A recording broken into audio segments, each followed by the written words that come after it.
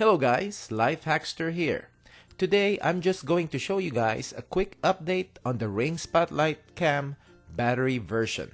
I have all of the Ring's current cameras and this battery powered Spotlight Cam is my least favorite and I'll tell you why in a little bit.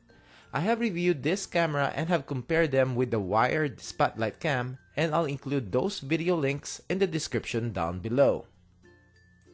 As you can see, my battery is now at 19%. The live view function has been disabled, which also means aside from not able to view the camera in real time, you will not have access and not be able to use the spotlights or the siren unless there is motion and you answer the alert. The camera will still detect motion, alert you, and at night will turn on the spotlights. For now, let's talk about the battery and how long it lasted for me. I actually have a solar panel and also an extra battery for this camera. But the last 3 months, I didn't use the solar panel and also removed the backup battery just to test how long the battery will last. I placed a fully charged battery last December 24th, and I usually have 3 to 5 recordings a day, which are mostly 30 second clips. By the way, the 30 second recording is with the battery version of the Spotlight. The wired ones usually record more than a minute and will continue to record as long as the motion persists. After 3 months and with one side of the camera exposed to the afternoon sun, you will see a fading on one side of the camera. Everything else looks good, just some dust and grime for being exposed to the elements outside. On the other side, which is not exposed to the sun, you will see the normal color of the piece. This is a different type of material as compared to the plastic body of the camera. All the other parts of the camera still looks good and hasn't oxidized. Let's open up the battery compartment. The seal held up and there are no leakage, moisture, or dirt that got in the compartment. Let's put in the backup battery. You will see that it will show a constant red light and the used one has a blinking red light. Let's close it up and check out the app.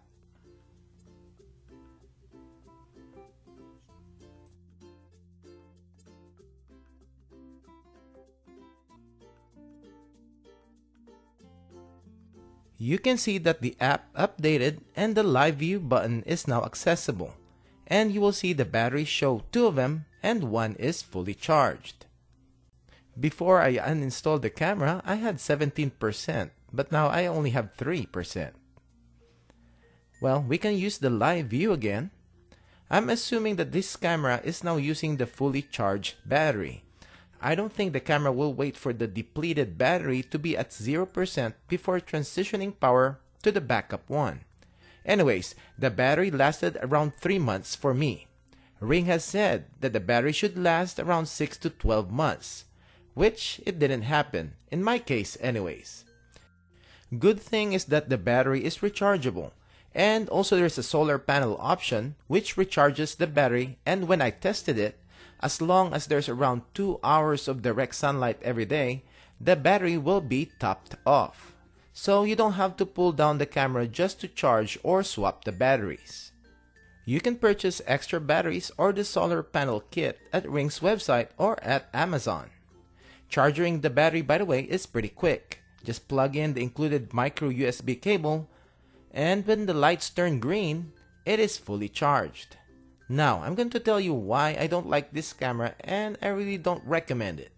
Using the live view is hit or miss, even with a good Wi-Fi signal. You will get this black waiting screen and will eventually time out.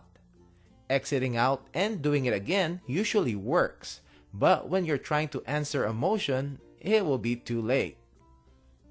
I also know that a lot of customers have complained about choppy and freezing footage. This is the case with this battery powered spotlight cam. I don't have these issues with my other ring cameras, just this one. It has a tendency to freeze. The audio continues but the video freezes and sometimes it will freeze almost the whole footage. Most of my footage is like the ones that I'm going to show you. I have a good Wi-Fi signal and I use a Wi-Fi extender within 5 feet of the camera. It is just a wall separating them. Other customers think it is a server issue with Ring. Let me know in the comments section below if you also have this problem with this spotlight cam.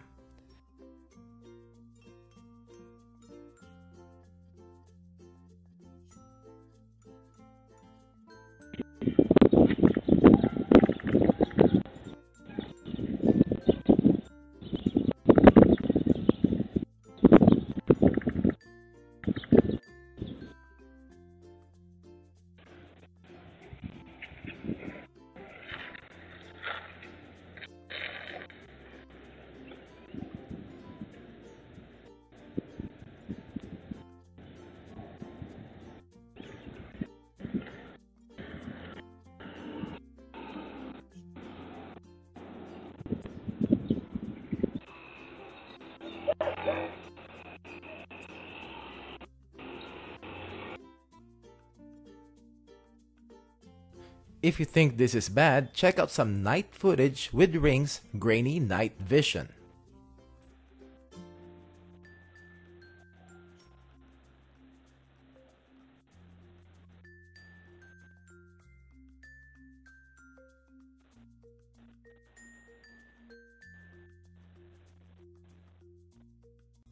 Right now, I don't recommend this camera until Ring fixes the freezing choppy video.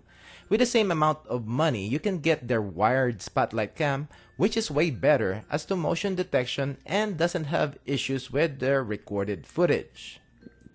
Also, it will have the enhanced night vision update, which is way better than the battery version.